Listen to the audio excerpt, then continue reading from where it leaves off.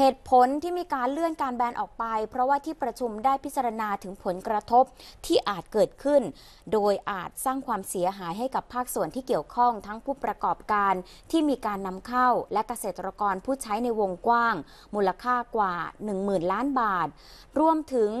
เกิดผลกระทบต่ออุตสาหกรรมต่อเนื่อง อย่างเช่น อุตสาหกรรมอาหาร อาหารสัตว์ ซึ่งอาจไม่สามารถนำเข้าวัตถุดิบที่เป็นผลิตผลทางการเกษตรได้และอาจมีผลกระทบต่อการค้าระหว่างประเทศ รวมถึงความเสียหายค่าใช้จ่ายที่จะมีสูงมากนะคะ เพราะว่าการจัดการกับสารที่ตกค้าง ซึ่งมีจำนวนถึง 23,000 ตันเนี่ย มีมูลค่าสูง ขณะที่นายสุริยะจึงรุ่งเรืองกิจรัฐมนตรีว่าการกระทรวงอุตสาหกรรม ในฐานะประธานคณะกรรมการวัตถุอันตรายบอกว่า ได้มอบหมายให้กรมวิชาการเกษตร กระทรวงเกษตรและสหกรณ์หามาตรการรองรับในการหาสารทดแทน หรือวิธีการอื่นที่เหมาะสม แทนการใช้พาราควอดและคอไพริฟอสรวมถึงมาตรการลดผลกระทบที่จะเกิดขึ้นต่อภาคส่วนที่เกี่ยวข้อง และผลกระทบต่อสุขภาพของประชาชน ก่อนนำกลับมาเสนอคณะกรรมการวัตถุอันตรายพิจารณา ภายในระยะเวลา 4 เดือนค่ะ29 ท่านวันนี้มาประชุม 24 ท่าน ทั้งหมดเห็นด้วยเป็น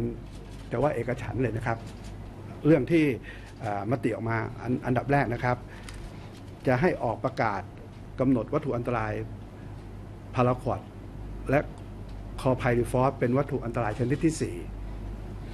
โดยให้กำหนดระยะเวลาใช้บังคับตั้งแต่วันที่ 1 มิถุนายน1มิถุนายน 2563สำหรับวัตถุอันตรายไกลโฟเสต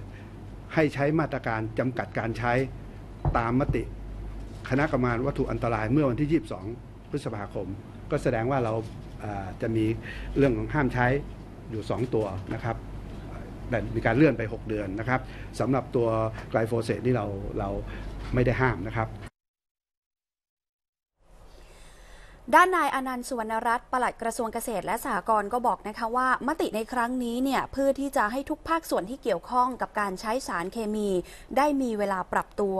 พร้อมยืนยันว่ามติจะไม่มีการเปลี่ยนแปลง แล้วก็ระหว่างนี้ได้ร่างประกาศกระทรวงอุตสาหกรรม และเตรียมประกาศลงราชกิจจานุเบกษา เพื่อให้มีผลบังคับใช้ต่อไป แต่ก็ยอมรับนะคะว่าหาวิธีการและมาตรการที่จะมาใช้ทดแทนสารเคมีทั้ง 3 ชนิด เป็นเรื่องที่ยากเนื่องจากปัจจุบันนี้ยังไม่มีวิธีการที่มีประสิทธิภาพเท่าเทียมกันค่ะผมคิดว่าทุกคนก็เห็นด้วยในเรื่องที่จะแบนทั้งสามตัวนี้เพียงแต่ว่าวันนี้เนี่ยเรามาเจอว่าพอจะแบนก็จริงๆนี่ปั๊บเนี่ยเราวิเคราะห์ผลกระทบแล้วเนี่ยยิ่งเหมือนเหมือนที่ทางท่านประธานท่านรัฐมนตรีว่าเนี่ยถ้าเราแบนตอนนี้เนี่ย มันกุลาหลแน่ มันมีกระบวนการต่างๆเพราะฉะนั้นไอ้เรื่องหาสารทดแทนเนี่ยจริง ๆ หามาร่วมปีกว่าแล้ว เราต้องยอมรับว่าไอ้ตัวพาราควอดเนี่ยมันเป็นสารที่อะไรอะ มันหมดปาเต็นแล้วแล้วใช้มาเหมือนกับ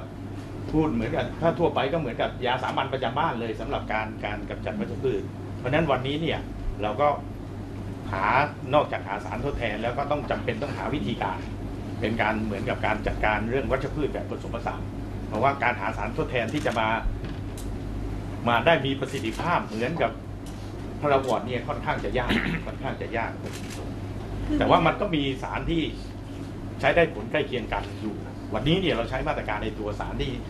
ที่ได้ผลใกล้เคียงกันอยู่ กับต้องหาวิธีการวิธีการปฏิบัติ วิธีการบริหารจัดการมากำกับด้วยครับ